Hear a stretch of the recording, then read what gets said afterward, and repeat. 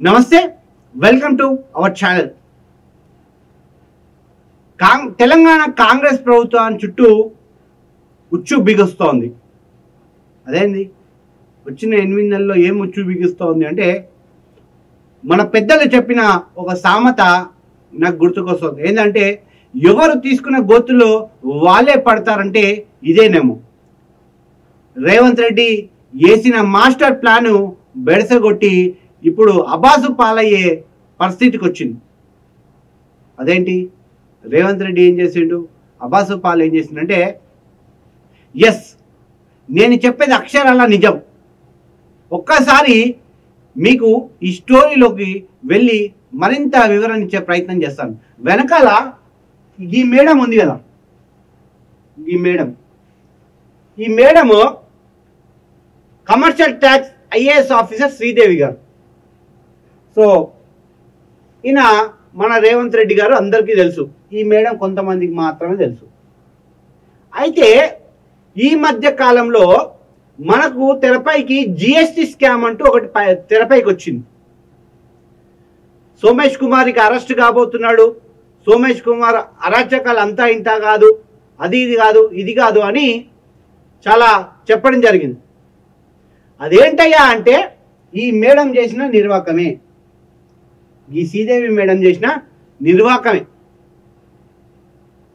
So దాదాపు పద్నాలుగు వందల కోట్ల జిఎస్టి సోమేష్ కుమార్ ఎగ్గొట్టారు. సోమేష్ కుమార్ ఒక వాట్సాప్ గ్రూప్ క్రియేట్ చేసి ఏ కంపెనీలకు జిఎస్టి ఎగ్గొట్టాలి ఎట్లా మ్యానిపులేట్ చేయాలి కింది స్థాయి వాళ్ళందరినీ మ్యానిపులేట్ చేస్తూ వచ్చారనే ప్రధాన ఆరోపణ ప్రభుత్వం గుప్పించింది.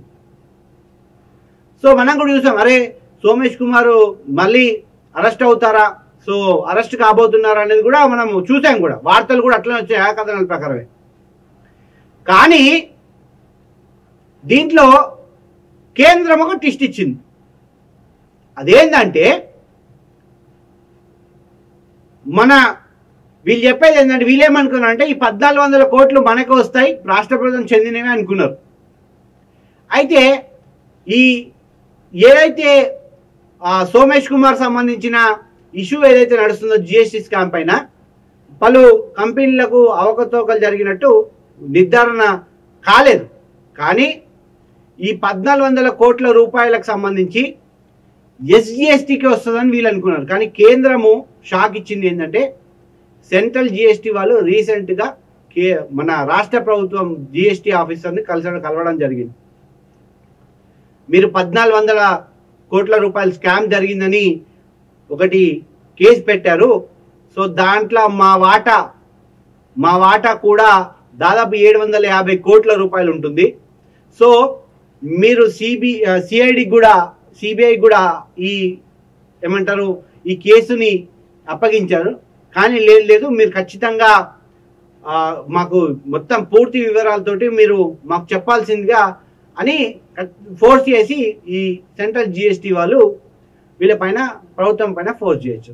అయితే రేవంత్ రెడ్డి ఏమనుకుంటున్నాడంటే ఈ పద్నాలుగు వందల కోట్లు మనం స్కామ్ బయట పెడితే పద్నాలుగు వందల కోట్లు మనకు చెందనుకో కానీ విధి తానొకటి తలిసే విధి ఒకటి తలిసినట్టు ఇంకా ఏమైందంటే ఈ పద్నాలుగు పద్నాలుగు వేల కోట్ల రూపాయలు కాస్త పద్నాలుగు వందల పద్నాలుగు వందల కోట్ల కాస్త ఏడు వేల ఐదు వందల కోట్లకు జిఎస్టి సెంట్రల్ జిఎస్టి వాళ్ళు వచ్చి మన స్టేట్ జిఎస్టి పైన కూర్చున్నారు. ఇక్కడే సినిమాని తల్పించే ఒక టిస్ట్. అదేందో చెప్తా. ఈ సినిమాని తల్పించే టిస్ట్ ఏంటంటే రాష్ట్ర తెలంగాణ ప్రభుత్వానికి మెడకు చుట్టుకుంటున్న జిఎస్టి ఎగ్గివేత కేసు. అనుమానం పెనుభూతం అంటారు పెద్దలు. ఎస్ అది ఇప్పుడు అనుముల రేవంత్ రెడ్డి సర్కార్ చుట్టూ చిక్కులో పడేసింది. ఓ ఐఏఎస్ చేసిన నిర్వాకంతో ఇప్పుడు ఏం చేయాలో అర్థం కాని స్థితిలో రేవంత్. ఐఏఎస్కి ప్రోత్సహించింది రేవంతే. కానీ ఇప్పుడు చిక్కులో పడ్డది ఐఏఎస్. ఐఏఎస్తో పాటు రేవంత్ రెడ్డి సర్కారు రేవంత్ రెడ్డి కూడా చిక్కులో పడ్డాడు.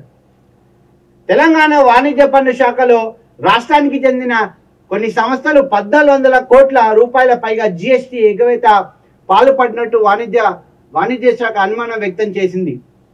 మొత్తం పదకొండు సంస్థలు ఎగ్గివేతకు పాల్పడినట్టు commercial tax commissioner TK Sridevi గుర్తించారు. దీంతో జాయింట్ కమిషనర్ రవితో సిసిఎస్ పోలీసులకు ఫిర్యాదు చేయించారు. ఇక్కడ చూడండి.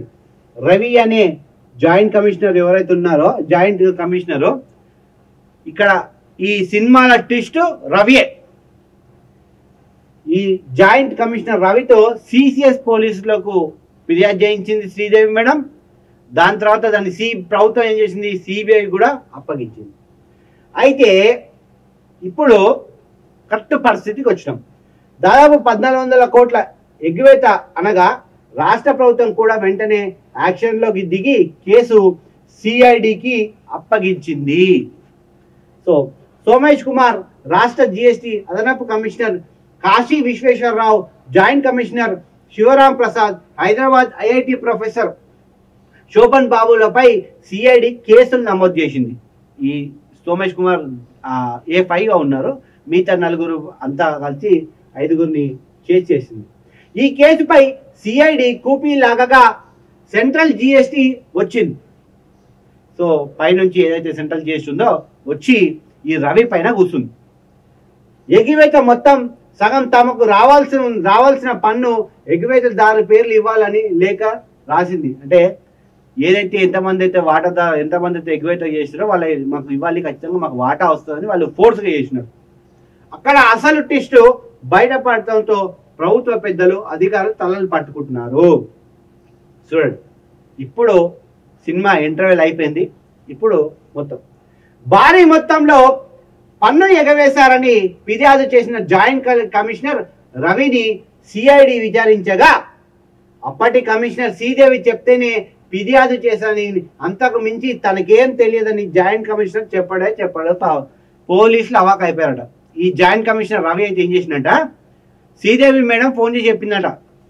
పలానా సిఐడి పలానా సిసిఎస్ పోలీసులను కేసు పెట్టు పద్నాలుగు వందల రూపాయలు ఎగ్వైతే ఎగ్వైతే అనగానే ఈయన ఐఏఎస్ మేడం చెప్పింది కదా. ఎందుకంటే గురువు చెప్పినప్పుడు శిశువు వినాలి శిష్యుడు వినాలి కాబట్టి గురువు చెప్పింది కాబట్టి ఈయన ఎగోసుకొని పోయి ఏదో చేద్దాం పొడిచేద్దాం నా పేరు ఇక నాకు ప్రమోషన్ వస్తుందని ఏం చేసినా కానీ తీసుకపోయి సిసిఎస్ పోలీసులో కేసు పెట్టింది. కేసు పెట్టగానే సిఐడికి అప్పగించారు ప్రభుత్వం కూడా. ఇక రేవంత్ రెడ్డి దూకుడు మామూలుగా ఉండదు కదా. సిఐడికి అప్పగించారు. అప్పగించగానే ఇక మనోళ్ళు సెంట్రల్ డిపార్ట్మెంట్ దిగిపోయారు. దిగిపోయి వాళ్ళ విచారణలో రవిని పట్టుకొని విచారిస్తే నాకేం తెలియదు మొత్తం శ్రీదేవి మేడం చేసిందని చెప్పాడు. సరే శ్రీదేవి మేడం చేసింది చేసింది కానీ మళ్ళీ నీ దగ్గర ఏం ప్రూఫ్ మా దగ్గర ఏం ప్రూఫ్లు లేవు. ఆమె కేసు పెట్టమంటే పెట్టినా అని చెప్పేసినాడు. సో పూర్తి సమాచారం ఆధారం లేకుండానే కేసు పెట్టడంపై ప్రభుత్వ పెద్దలు ఆగ్రహంతో ఉన్నారు. చూసింది కదా? ఏం అసలు ఒక్క నయా పైసా పేపర్ లేదట. ఈ కేసు సంబంధించి ఎటువంటి ప్రూఫ్లు కూడా ప్రభుత్వం దగ్గర లేవట. కానీ శ్రీదేవి మేడం పెట్టి చెప్పింది నేను కేసు పెట్టినాను చేతులు దులుపుకున్నాడు. ఇప్పుడు ఈ శ్రీదేవి మేడం ఎక్కడుందా అంటే రాష్ట్ర ప్రభుత్వం ఎక్కడో మారుమూల ప్రాంతంలో లూప్ లైన్లో పెట్టింది. అది పరిస్థితి. ఐఏఎస్ అధికారుల అత్యుసాంతో కేంద్ర సంస్థ వద్ద అడ్డంగా బుక్ అయ్యారని రాష్ట్ర వాణిజ్య శాఖ లో పనిచేసే అధికారులు ఆవేదన వ్యక్తం చేస్తున్నారు. రాష్ట్ర బ్రెవేజ్ కార్పొరేషన్ ట్రాన్స్కో ఎల్ఐసి ఎన్ఎండిసితో పాటు పలు సంస్థల జిఎస్టీ ఎగ్వేటేట్నట్టు కేసు పెట్టడంపై ప్రభుత్వం ఆ ఆగ్రహంగా ఉంది. చూసారు కదా? సో సదరు ఐఏఎస్ చేసిన ఈ నిర్వాహకంలో ఏం చేయాలో అర్థం కాక ఆమెకు అక్కడి నుంచి బదిలీ చేసినట్లు సమాచారం. మళ్ళీ బదిలీ చేయకపోతే ఏం చేస్తారు సార్ మీరు? మీరు చేసే పనులన్నీ గివే. ఒక్క పని పనికొచ్చేది లేదు. జనాలకు వచ్చే అక్కడికి లేదు జనాలకు వచ్చి అక్కడి లేదు. ఏదో చేద్దాం ఐపు క్రియేట్ చేస్తాం అది ఏది కాదు గబ్బందులకే అవుతుంది ఫోన్ ట్యాపింగ్ కేసు అట్లనే అయింది. ఈ జిఎస్టి కేసు అట్లనైంది కాళేశ్వరం కేసు అట్లనే అయింది. ఇంకెన్ని కేసులు సార్? ఇప్పటికైనా సోయి తెచ్చుకొని ప్రజల సమస్యలపై పోరాడండి. ప్రజలు నవ్వుకుంటున్నారు ఇది చూసి. సో చూశారు కదండి? మన సార్ వారు చేసిన నిర్వాకం శ్రీదేవి మేడం చేసిన నిర్వాకం. ఇట్లాంటి మరిన్ని ఇంట్రెస్టింగ్ ఫ్యాక్ట్స్ మీ ముందు తేయడానికి ఎప్పటికీ మీ మన తెలంగాణ టీవీ సంసిద్ధంగా ఉంటుంది. సో మీరు చేయవలసింది ఒకటే మా వీడియోల్ని సబ్స్క్రైబ్ చేసి షేర్ చేసి లైక్ చేయండి. థ్యాంక్ యూ నమస్తే